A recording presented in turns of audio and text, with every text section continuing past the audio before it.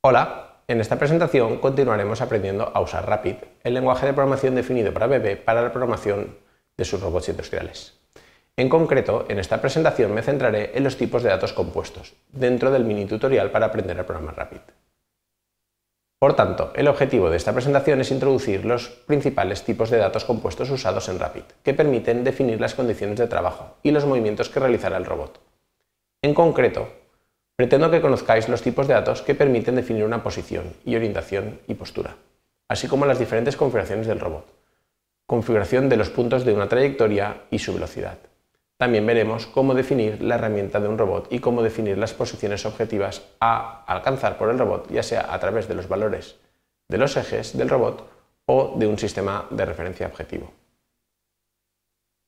Los datos compuestos nos permiten manejar información de forma organizada con el nombre de una sola variable y lógicamente están compuestos por otros datos como su propio nombre indica. Su estructura se asemeja a la de un struct en C, de forma que tienen una serie de campos cada uno de ellos con un tipo de dato diferente y un nombre. Para acceder a un campo de un tipo de datos compuestos utilizaremos el operador punto. Así pues, en el ejemplo que os muestro, el tipo de datos ctype2 tiene dos campos numéricos con nombres name1 y name2. Por tanto, podemos acceder a los campos de este tipo de dato compuesto mediante eh, los nombres de sus campos, tal y como podéis apreciar en el ejemplo. También podemos asignar los valores de un tipo de datos compuestos simplemente introduciendo una lista de valores con los corchetes cuadrados, separados por comas. En el caso de un tipo de datos compuesto contenga, por ejemplo, eh, a otro tipo de datos compuesto, podemos anidar los corchetes para realizar esta asignación. En Rapid disponemos de un conjunto de datos compuestos predefinidos que nos permitirán pasar información a las instrucciones de movimiento de forma mucho más compacta. A continuación veremos los tipos de datos más relevantes. Para definir un sistema de referencia podemos hacerlo con el tipo de datos POS. La posición del sistema de referencia se define con el tipo de datos POS, que incluye tres campos, X, Y y Z, con los valores de las coordenadas cartesianas del origen del sistema de referencia. Y la orientación con el tipo ORIENT, que se define con cuaterniones y por tanto debemos indicar los valores numéricos de la orientación de las variables de Q1 a Q4 del cuaternión. El tipo de datos pose es un tipo compuesto por una posición y una orientación y que podemos acceder a ellos o modificar sus valores con los nombres. Ojo que este tipo de datos contiene el nombre del campo es trans y rot, ¿vale? mientras que estas, estos campos en realidad son del tipo, como he dicho, pos y orient. Aquí os muestro un ejemplo de uso eh, de este tipo de datos en el que vemos cómo declarar y asignar valores a los diferentes campos de este tipo de datos compuesto. Para alcanzar una postura, el robot puede llegar hacerlo con diferentes configuraciones que afectan principalmente a los ejes 1, 4 y 6. Rapid permite definir la configuración del robot con cuatro valores numéricos, tres que definen los cuadrantes de los ejes que he mencionado y que pueden tomar un valor positivo o negativo entre 0 y 3. Para los cuadrantes positivos tenemos eh, de 0 a 90 grados, de 90 a 180 grados y así respectivamente y de menos 4 a menos 1 para los cuadrantes negativos, es decir, desde 0 a menos 90 grados, desde menos 90 a menos 180 grados. Y así pudiendo tener valores eh, ambiguos, es decir, que el número 0 y el menos 4 en realidad representan el mismo cuadrante. El número 1 y menos 3 también, por ejemplo, en este caso representarían el mismo cuadrante. Además, incorpora un cuarto valor, CFGX, que permite definir la configuración con un número, eh, por lo general, definido entre el 0 al 7. Y aquí os muestro, por ejemplo, simplemente las ocho posibles configuraciones del robot IRB 140 en base a este número. Como he mencionado, los valores CFG1, CFG4 y CFG6 del tipo de datos de ConfData, el anterior, representan los cuadrantes de los ejes. Aquí vemos un ejemplo extraído del manual de referencia de ABB en el que se indica lo que significan estos cuadrantes. Si bien es cierto eh, que para las articulaciones del tipo revolución eh, eh, estamos hablando de cuadrantes, para las articulaciones prismáticas los valores de estos campos significan rangos de desplazamientos en metros. Los valores que debemos utilizar en estos campos dependen en gran medida del robot que estéis tratando de programar, con lo que recomiendo mirar el manual de referencia para entender en detalle lo que implican cada uno de estos valores en esta instrucción o en este tipo de datos.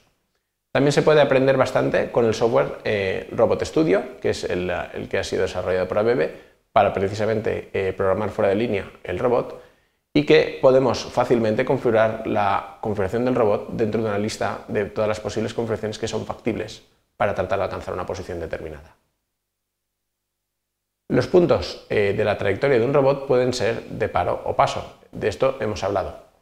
Si los puntos son de paro, el robot se detendrá en cada uno de estos puntos, mientras que si los puntos son de paso, el robot mantendrá una velocidad intermedia entre las dos instrucciones de movimiento.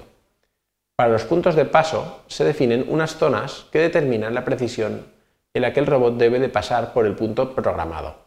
En realidad se definen dos zonas, una para definir la posición del TCP y otra para definir la reorientación del TCP, en caso de ser necesario. En la figura de la derecha observamos cómo afecta el tamaño de esta zona para definir la región en la que la herramienta empieza a cambiar de orientación. Por tanto, para definir la precisión de los puntos de una trayectoria se utilizará el tipo de datos ZoneData que permite definir si el punto es de paro o de paso y la precisión con la que queremos para el TCP, ya sea para eh, la posición como la orientación de la herramienta. Se trata de un conjunto de datos que contiene una variable booleana para definir con esta variable si el punto es de paro o de paso, la primera de las variables que veis. Y seis variables numéricas, en este caso, que definen el tamaño de la zona de precisión. Para conocer los detalles de lo que significan cada uno de estos campos, recomiendo que accedáis al manual de referencia de BB. Porque lo habitual es que usemos la variable definida find o alguna de estas variables predefinidas, perdón, como por ejemplo la variable find para definir un punto de paro y eh, algunas de las variables que ya están definidas, como por ejemplo Z0, Z5 y así hasta Z100, Z200 y demás, para definir diferentes puntos de paso, cada uno de ellos con un tamaño de zona de precisión. Bien, existen más, más variables predefinidas en cualquier caso. La velocidad de los movimientos incluye cuatro valores, ¿vale? En este caso, eh, la velocidad del TCP en milímetros por segundo, eh, en el segundo campo es la velocidad de la reorientación del TCP en grados por segundo, mientras que el tercer y el cuarto valor son para definir las velocidades lineales y rotacionales de ejes externos. Por eso se eh, tiene la L y la R de lineal y rotacional y EAX quiere decir external axis. Rapid incluye eh, un conjunto de velocidades predefinidas que normalmente utilizaremos para definir las velocidades de las herramientas. En la tabla de abajo, precisamente, eh, mostramos el nombre de alguna de estas velocidades predefinidas y el valor de la velocidad del TCP, la parte lineal. Existen muchos otros valores predefinidos que no he incluido aquí en esta tabla, con lo que para conocerlos todos de nuevo os recomiendo acceder a lo que sería el manual de referencia de Rapid. Bien, también existen valores predefinidos para las velocidades de la reorientación de la eh, herramienta y también de los ejes externos, obviamente. Definir concretamente la herramienta es fundamental para el correcto funcionamiento del, robot. De lo contrario, eh, se puede incurrir en imprecisiones, en limitaciones de velocidad o incluso en sobreoscilaciones no deseadas. La herramienta dispone de su propio sistema de coordenadas, que es el que habitualmente utilizaremos para definir las posiciones que queremos que esta herramienta alcance para trabajar sobre una pieza en concreto. Lo habitual es que el sistema de coordenadas eh, se defina con respecto al sistema de referencia que usamos para la brida del robot. Además, debemos eh, de tener en consideración el peso de la herramienta y su centro de gravedad y los valores de sus inercias para cada uno de los ejes. La herramienta la definiremos con el tipo de datos toolData, que tiene una variable booleana para indicar si la herramienta está siendo usada o no.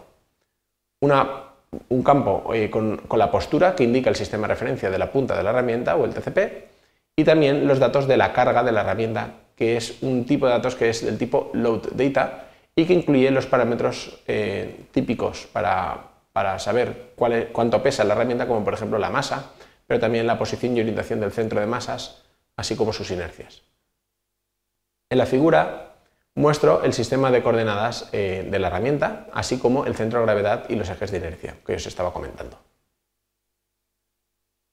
El tipo de datos RobJoint se utiliza para definir los valores de los ejes del robot.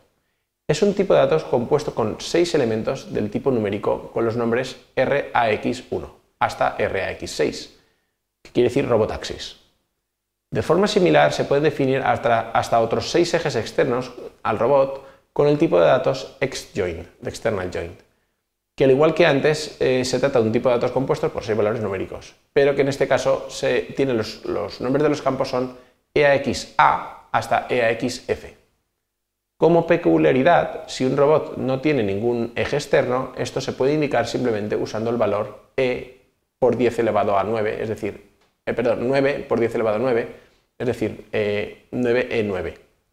Finalmente, el tipo joint target es un tipo compuesto que incluye precisamente estos dos tipos anteriores, que es rob joint y x joint, con los nombres, en este caso, para acceder a estos campos, eh, tenemos rob AX de robot axis y AX de external axis. Aquí vemos un ejemplo en el que se determina la posición de calibración o inicio de los ejes de un robot. En concreto, fijaos que eh, dispone en este caso, en este ejemplo, de un primer eje externo que se calibra mediante la posición 0. Y para finalizar, explicaremos uno de los tipos de datos más utilizados, que es Rob Target. Se trata de un tipo de datos compuesto que permite definir la posición y la orientación de un sistema de referencia, además de indicar la configuración del robot a utilizar, los valores de los ejes externos, ¿vale? Y aquí vemos cómo se define una posición objetivo, por ejemplo, que en este caso está a 20 milímetros negativos del eje Z, con un giro de 90 grados en Z, que corresponde al cuaternio 07000,7. Eh, en este caso estamos utilizando la configuración 0000 y eh, no tenemos ningún eje externo, por eso aparece todo lleno de 9 eh, nueves. Eh, esta posición siempre es relativa a otro sistema de referencia. En este caso eh, se indicará mediante el nombre WOBJ, que es el sistema de referencia de trabajo, como veremos posteriormente. Bien, en esta presentación he introducido los tipos de datos compuestos que se usan en Rapid y que a continuación eh, en el siguiente vídeo veremos cómo usarlos para definir las instrucciones de movimiento del robot y cómo trabajar precisamente con el sistema de referencia del objeto de trabajo también. Muchas gracias.